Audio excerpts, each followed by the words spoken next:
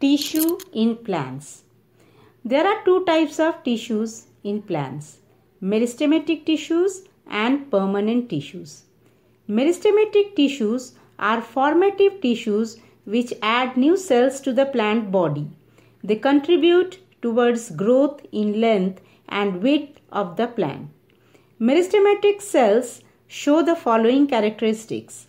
They are small in size, cells are thin walled, the cells are rich in cytoplasm with large prominent nucleus. The cell lacks spaces between them. They divide actively, adding to the growth. Now, permanent tissues. Permanent tissues are derived from meristematic tissues. Their main characteristics are cells may no longer be small and thin walled. Cytoplasm is much less. Nucleus is small. Cells do not divide. Permanent tissues can be classified on the basis of their place or origin. According to that, they are dermal tissue, vascular tissue, and ground tissue. And on the basis of types of tissues, they are of two types simple and complex. Now, simple permanent tissue. Parenchyma. It is composed of thin wall living cells it is present in the softer parts of the plants. Its function is to store food as in potato. In leaves they contain chloroplasts, thus help in photosynthesis. Now collenchyma.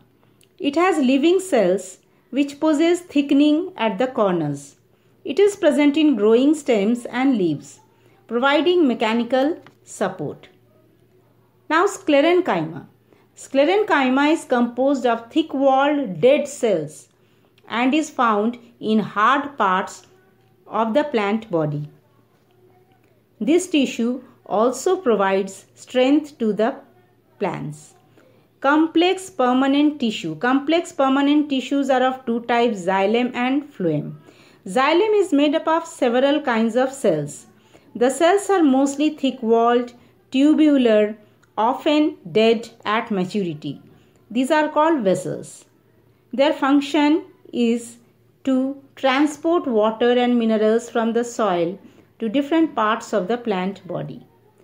Now, next is phloem. Phloem is also made up of several types of cells, mostly living. There are tubular cells with perforated walls joined end to end. They are called sieve tubes. Closely associated with sieve tubes are companion cells. Other than these, there are also cells present called phloem parenchyma and phloem fibers. Their function is to transport food prepared by the leaves to all other body parts of the plant. Dermal tissue. They are present mainly in the outer layer of plant body. They are found on the surface of roots, stems, leaves, flowers, and fruits and are referred as epidermis. Their function They are protective tissue. Cells are often thick walled and develop waterproof coating on their surface to reduce evaporation from the leaf surface. In the roots, they help in absorption of water and minerals from the soil. In leaves, they help in exchange of gases through stomata. Now, vascular tissue. Xylem and phloem make the conducting tissue and are also known as vascular tissue. Xylem carries water and minerals whereas phloem transport food. Functions of vascular tissue. Xylem transports water and minerals from the roots to various body parts whereas phloem transport food from the leaves to other parts.